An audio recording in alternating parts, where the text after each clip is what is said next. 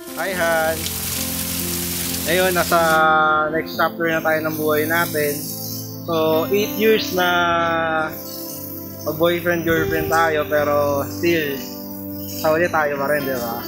Marami tayong pinagdaanan, ah away bate, lalo na nung college, syempre, dami nating pinagsamahan.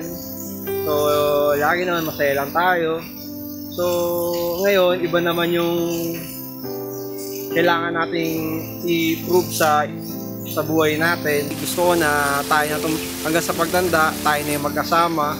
Kahit na sa huling hininga ko, gusto ko, tabi kita. At para sa akin talaga, ikaw yung pinaka Miss Universe ng buhay ko. Eh. Kumbaga parang ikaw si Megan yung sa, para sa akin. Ah, wala na akong ibang nakikita na makakasama. Ang promise ko sa'yo is aalagaan kita at yung mga magiging anak natin na gagawin nating center na center natin si God sa buhay natin. And and I promise you na ikaw lang talaga ang mamaling ko for the rest of my life.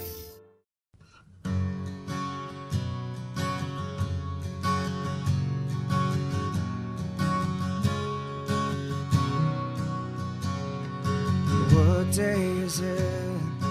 And in what month? This clock never seems so light. Oh, I can't keep up, and I can't back down. I've been losing so much time.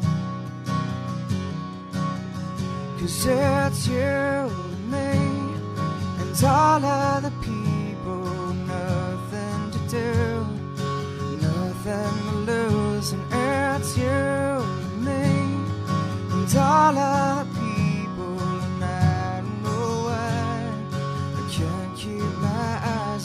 of you.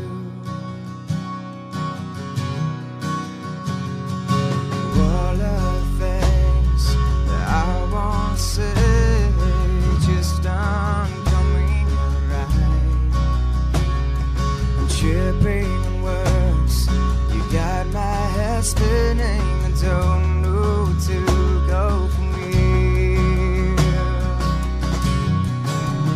Cause it's and 다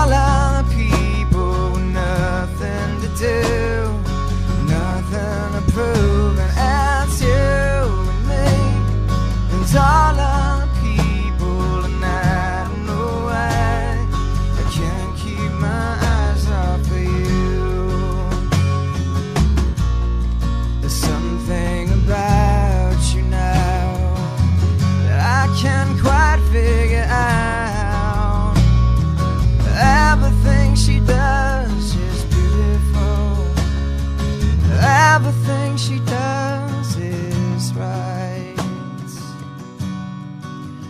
Cause it's you and me, and all other people,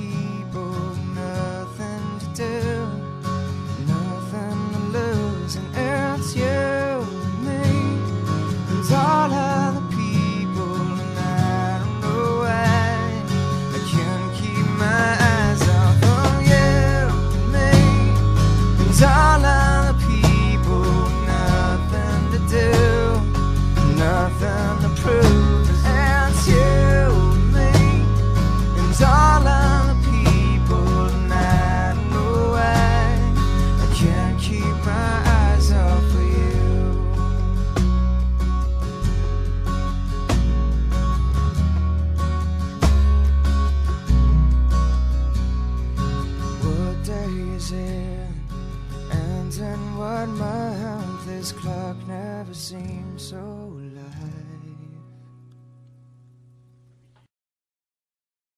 Nung una kami magkakilala ni Bon, uh, pinakilala lang sa akin nung friend ko. At the same time, mag-classmate kami sa College of Nursing. Sabi ko pa nga, nung nakita ko siya, uy, kamukha siya ni Mark Heras. Tapos, after nung SEM, hindi na kami nagkita. So, nung nagkita na lang kami, nung nagjo-duty na kami sa isang hospital pa. Um, hindi ko inaakala na aabot kami dito siya pala yung destiny ko, siya pala yung makakasama ko habang buhay. Bon, nung mag-decide ako na magpakasal sa'yo, niready ko na yung sarili ko na ibigay buong pagmamahal ko, yung buong pagkatao ko. Alam ko, hindi ito madali ang papasukan natin. Pero huwag kang mag-alala. Tutulungan kita. At saka, pagkasama natin yung Panginoon, 100% maganda yung mabubuo nating pamilya. Bon, ikaw ang unat huling lalaking mamahalin ko. I love you today, tomorrow, forever.